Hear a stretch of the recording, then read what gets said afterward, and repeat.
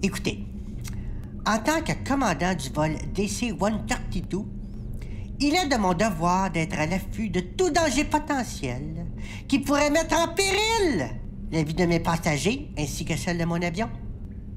C'est pourquoi, lorsque mon agent de bord m'a informé que l'un de mes passagers possédait une lime à je suis tout de suite tombé en mode alerte jaune, c'est-à-dire ne paniquons pas, mais restons vigilants.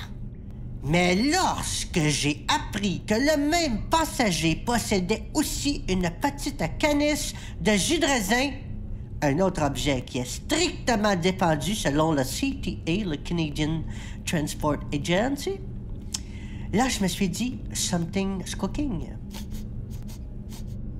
Vous connaissez l'expression que nous, les pilotes, utilisons fréquemment.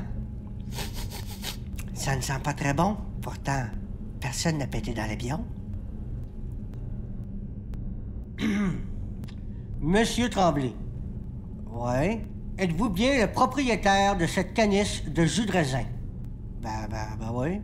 Et où étiez-vous lorsque vous avez consommé la dite canisse? Ben, j'étais dans l'avion. Ha ha! Ben, qu'est-ce qu'il y a? Monsieur Tremblay, on n'ira pas par quatre chemins. Avez-vous déjà été dans un camp d'entraînement en Afghanistan? Ben, voyons donc! Avez-vous déjà mangé un couscous avec un membre d'Al-Qaïda? Non. Avez-vous déjà joué au bingo dans le sous-sol d'une mosquée? Ben non. Prenez-vous des cours de danse du ventre? Non plus. Dans votre jeunesse, avez-vous déjà fait exploser une grenouille en lui mettant un pétard dans la bouche? Euh, ben, je- juste une fois, je pense. Pourquoi, Monsieur Tremblay? Pourquoi?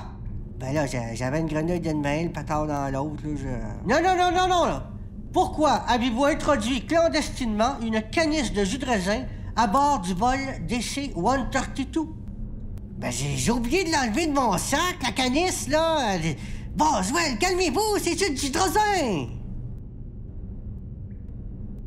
Et qu'est-ce que vous comptiez faire avec votre lime à ongles? Ben là, habituellement, on fait quoi avec une lime à ongles, là? Hein? Pensez un petit peu la te- je te donne deux chances, OK? Nous ne sommes pas ici pour jouer aux devinettes, Monsieur Tremblay.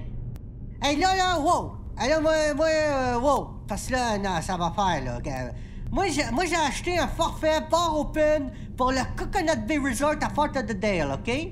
Puis là, je me retrouve en gougoune d'une base militaire à coup de joie à me faire interroger par les services secrets canadiens. Hey, c'est quoi, là? Hein? Wow, ça va faire le niaisage, là. Moi, moi, là, moi, je connais mes droits, OK? Moi, je suis citoyen canadien, là, puis je refuse de répondre à toutes vos questions sans la présence de mon agent de voyage et d'un pina colada, OK? C'est assez clair? Qu'est-ce que t'en penses? C'est un terroriste ou un touriste à ton? Oh, tu viens que tu le sais plus.